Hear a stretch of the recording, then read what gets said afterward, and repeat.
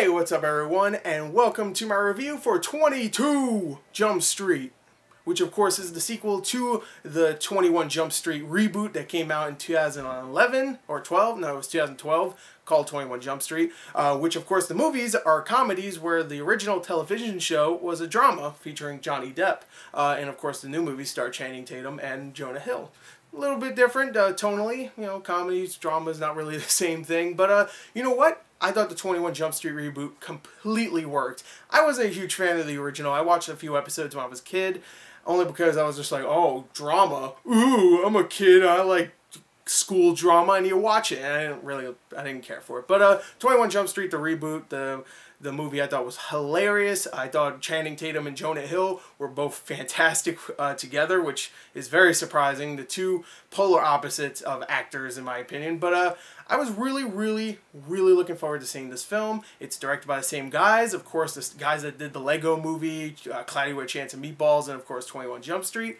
I could not wait. So what did I think of 22 Jump Street?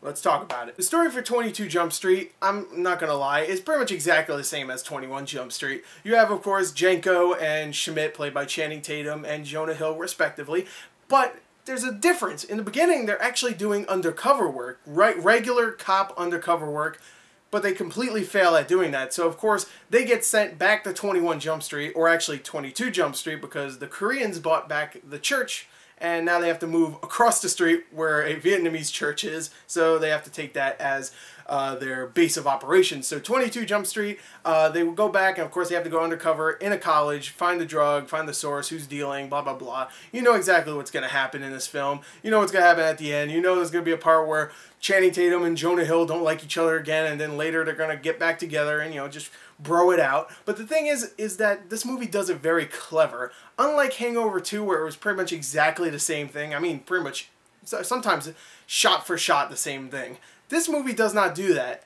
But when it does, it's actually hilarious. Whenever something happens that is exactly the same, they actually mix it in with the plot and make it actually really, really funny and very clever, which I really enjoyed. If you see the film eh, and you saw the original and still remember a lot of key moments from the original, then you might know what I'm talking about. But there's actually a few very well done gags that pretty much make fun of movies like this, uh, where of course the sequel comes out and it's exactly the same thing. They actually make fun of that, which I thought was really, really well done. Uh, the story itself is still a lot of fun, especially Channing Tatum and uh, Jonah Hill. Both of them are hilarious in this, and I'm really glad to, to see Channing Tatum do stuff like this still. I mean, don't get me wrong. He's been doing stuff like this for a couple years where you actually like him in the film, but I'm really, really glad that Channing Tatum has become this actor because like three or four years ago, I would have told you straight up. I think Channing Tatum's like one of the worst actors ever. But now, I mean, he's he's owning it. I mean, I think he's great in a lot of films, and I thought he was really funny in this. There's one scene that made me laugh so hard just because of his reaction, and most likely you know what uh,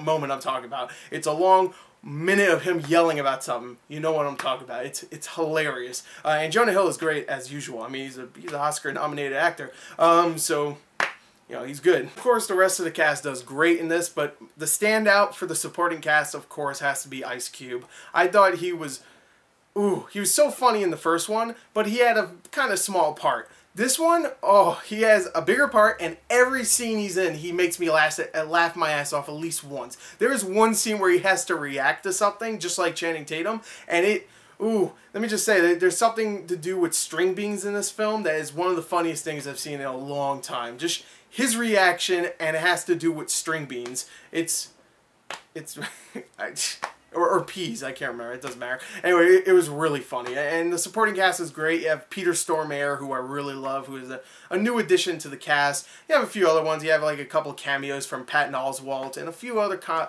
comedians that you uh, will definitely recognize in this film. Um, I really, really enjoyed the supporting cast, but I, I really love the bromance between the main two and, of course, Ice Cube. There's so many hilarious moments in this. It never is boring, even though I think this movie's a little bit longer than the original, but it, it flew by so quick. There's so many just great, fun moments. Uh, there's a couple moments where they repeat the same gags in the first film, like this whole drug trip uh, moment in this just like the first one. But even moments like that, I actually think the drug moment in this film surpassed the other one. I thought it was so fun. I couldn't stop laughing. This movie is just probably the funniest comedy I've seen this year. It really is. I mean, I love Neighbors. I love uh, you know a few others. I I can't remember, but I thought this was beyond funny. I really really love this film. I can't think of any complaints besides maybe uh, there's one character I really liked in the original that does not show back up, which is uh, the love interest for Jonah Hill. I thought she was really good in the original, and she does not come back. I think she played by Brie Larson, I think. I, don't, I don't remember. Uh, but anyway, uh, she was really good, and she didn't come back. That's like the only negative I can think of. Uh, I thought the new female love interest for Jonah Hill wasn't that interesting, too. Even though it has a re- there's a really funny gag related to her. But I really, really, really love this film. I think it's a little bit better than the first one, and I can't wait to go see it again. I'm going to give it a 37 out of 40. I thought it was terrific, really funny, uh, and one of the most entertaining times I've had in the theater. Even though I'm not going to give it a complete 40, of course. Uh, it's still one of the best films of this year. Definitely go check it out. 22 Jump Street. There you go. There's my review. I hope you enjoyed it. Thank you, and goodbye.